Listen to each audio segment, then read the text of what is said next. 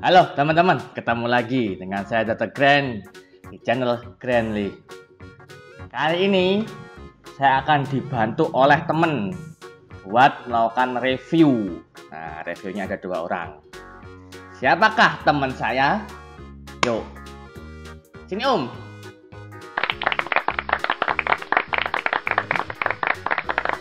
Ini ketemu dengan siapa?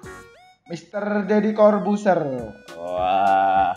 Itu tapi kok beda ya. Yang ini putih mengkilat, lehernya kok hitam ini ya. Kenapa Terlalu- itu? Terlalu lama liburan ini. Oh, liburan ke mana Om?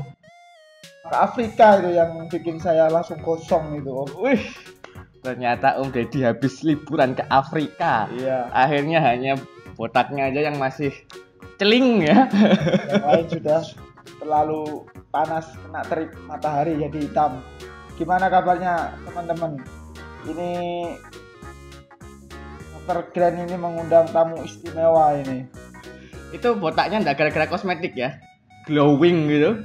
Kayaknya iya, kayaknya karena salah pemakaian kosmetik sehingga hanya botak saya yang putih ini. Oh, lainnya enggak ya. Lainnya tidak ini. Oke wes, langsung aja ya teman-teman. Om, ini kamu tak kasih bagian yang ini Om. Nah, Oke. Ini kita mempunyai dua produk ini. Ayo Om, di Ini. nah, itu ya ada dua produk. Yang pertama, ini itu yang saya ini produk dari Azlo ID. Sedangkan Ini yang ini Pear Cream. Meko. Ini Om. Nico Pear Cream. Wah, yang kedua adalah Meko. Kita bandingkan head to head. Oke. Yang pertama, buka aja sekali apa-apa. Oke. Ini ini saya unboxing. Ini baru dari pabrik, langsung ambil dari pabriknya. Jadi bukan KW atau second barang baru. Ya, ini nih ya. Bukanya nggak bagus. Langsung disobek kayak gini. Oke, head to head jangan dibuang dulu. Oke. Jangan dibuang dulu. Nah, ini ngajarin Om Deddy yang biasanya sulap, sekarang sama Dokter Grand diajari cara ngetes kosmetik. Ah. Head to head Om. Sekarang Siap. ini dari mereknya ya. Ini Azlo ID, yang ini Meko. Ya.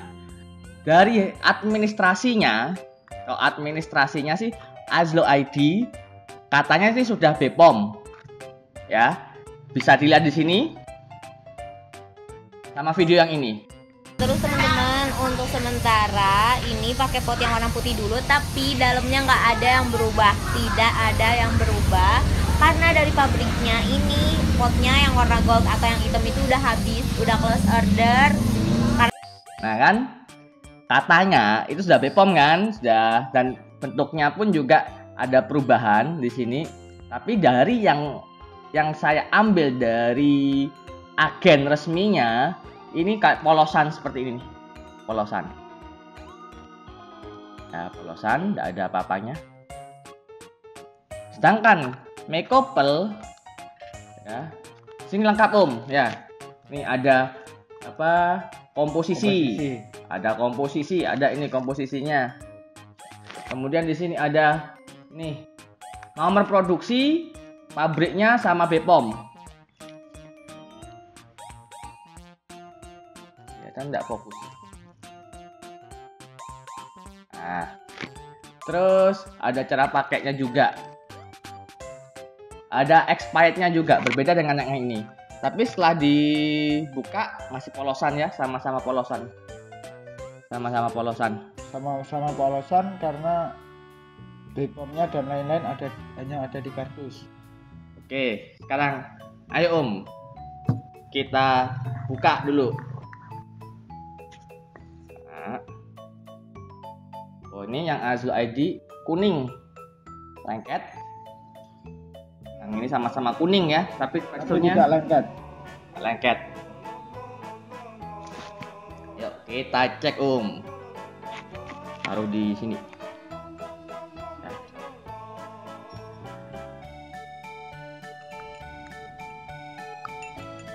Kita langsung head to head kosmetik. Ya. Jadi kalau satu persatu memenuhi permintaan netizen waduh lama juga ya. Makanya saya bikin head to head disembunyikan. Om nanti orang-orang big netizen ini penuh dengan tanda tanya nanti. Oh sudah sudah segitu aja. Oke.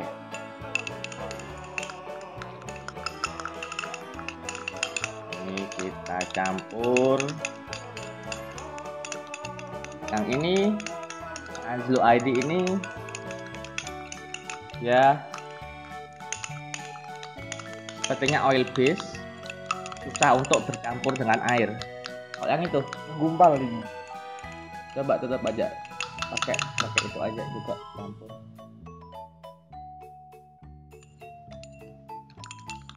Pelan-pelan aja. Santai. Ini masih diaduk-aduk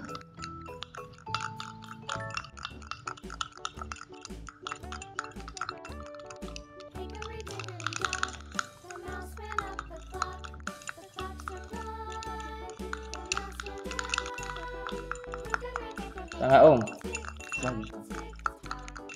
Bisa tapi kurang ahli karena saya biasanya hanya main sulap. Bukan mainan kosmetik. bisa sulap ini berarti sekarang apa sudah lupa Karena terlalu banyak liburan sehingga belum belajar lagi. oh, harus belajar lagi ya kalau Iya. sulap itu ya Iya harus. oh Sebelum tayang itu saya biasanya belajar dulu.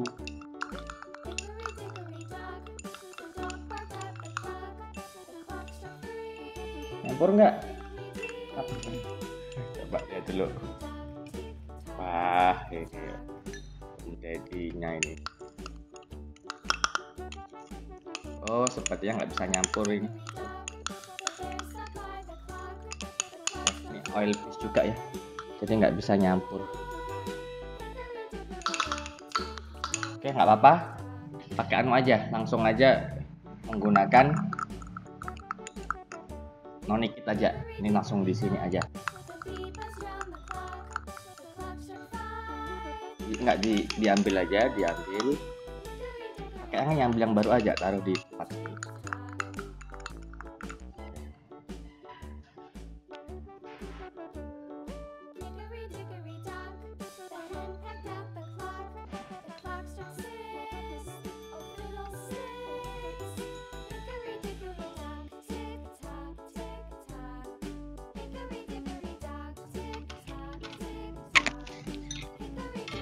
oke karena untuk mempercepat saya hanya mengecek hidroquinon sama merkuri aja ya.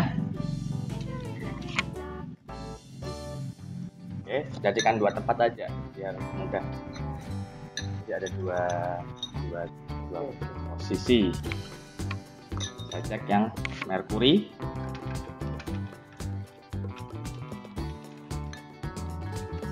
Oke yang ini hidroquinon ding sekarang yang merkuri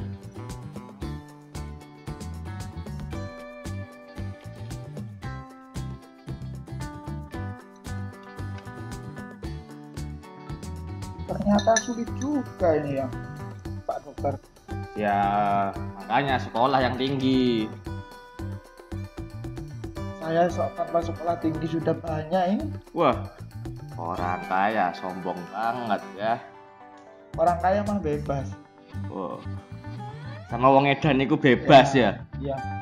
nah ini yang Azul ID ya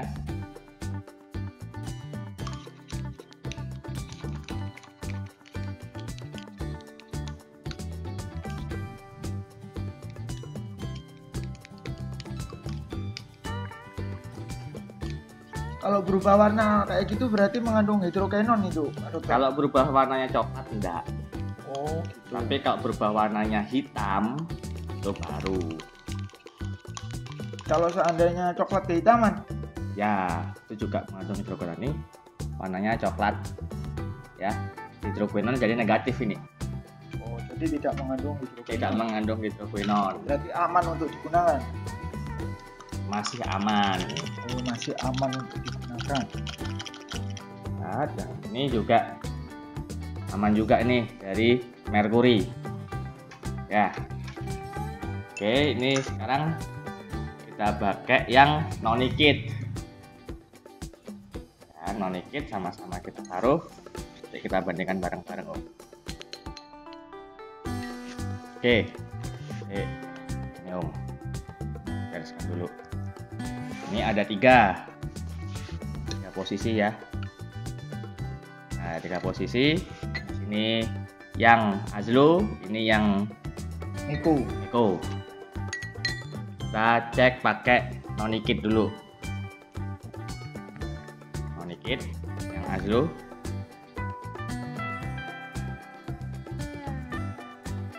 Ini juga yang Meko kasih nonikit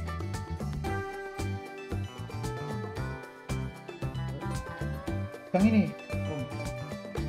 Bandingkan sama yang ini sama-sama ya.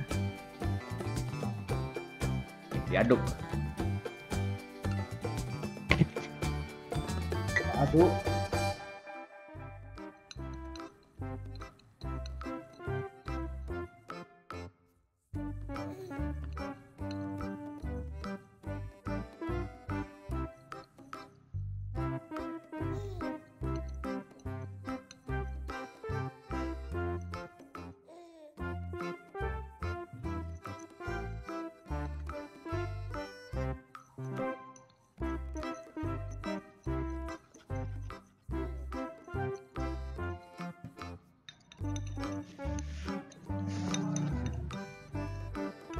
ya masih coklat.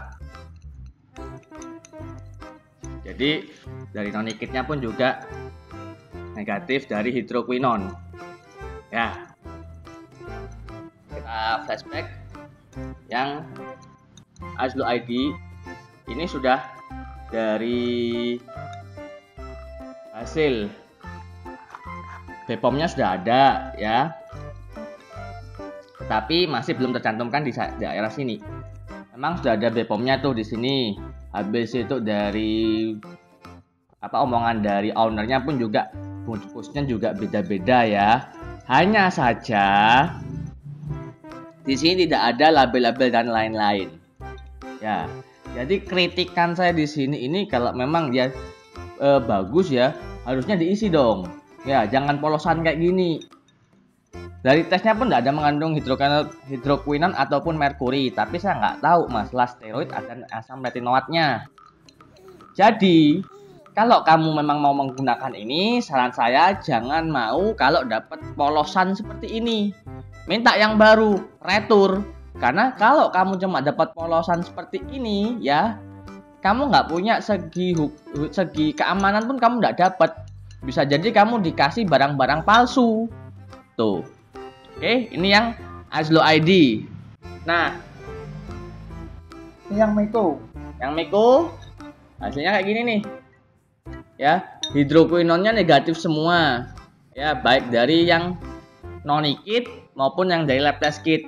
Hanya saja kita nggak bisa pakai merkuri karena eh, dia sangat sangat lemak sekali ya, berminyak sekali. Jadi nggak nggak Menggumpal. eh, nggak nggak bisa bercampur Tidak dengan bisa bercampur dengan air dengan air. Tuh. Jadi hasil dari Azlo ID maupun dari Meko ini terserah kamu mau menggunakan atau tidak ya. Saya tidak berhak melarang ya. Semua juga pun dari legalitasnya pun juga bagus ya, ada legalitasnya kecuali yang ini masih belum katanya masih proses monggo silahkan dilanjut prosesnya dan tolong ditarik yang kosong-kosong ini ditarik dari peredaran. Pakai yang baru kemasannya. Tuh ya. Hasil tesnya pun juga ya head to headnya bagus juga. Nah masalah harga kalau yang ini kisaran eh, di atas 80 ribuan lah 80 90 ribuan. Kalau yang ini berapa om? 17.500 17.500 hasilnya bisa kamu lihat sendiri yang ini water base yang ini lebih ke oil base ya. Jadi ini tidak bisa karena mengandung oil petrolatum ya. Jadi oil base. Jadi nggak bagus buat akne yang punya jerawat. Jadi netizen lihat komposisinya apakah benar apa enggak yang dikatakan apa dokter Glenn tapi yang jelas di sini memang mengandung petrolatum. Oke, kalau kamu suka dengan video Kapi, jangan lupa subscribe, like, terus di share ke mana-mana. Tombol loncengnya juga. Oke, Lonceng, lonceng? ketemu lagi di video-video selanjutnya bersama kami. Bye bye. Nah, ini langsung ke mana nih nih? Om habis ini Om. Langsung naik pesawat. Pulang ke Jakarta iya, langsung. pulang ke Jakarta. Ini me- memenuhi undangan Dokter Grand. Jadi langsung dari Jakarta ke sini, langsung balik lagi. Oke, jangan lupa supaya channel ini hidup. Jadi jangan lupa subscribe dan share ke mana-mana. Terima kasih. Yo, ah.